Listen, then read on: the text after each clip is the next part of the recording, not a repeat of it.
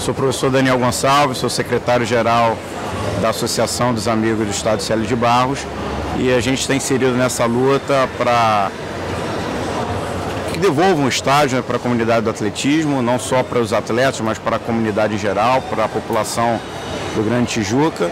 é, sabendo da importância desse patrimônio público para a coletividade, para todos aqueles que praticam o esporte ou que são adeptos do esporte ou como espectador ou como, ou como praticante.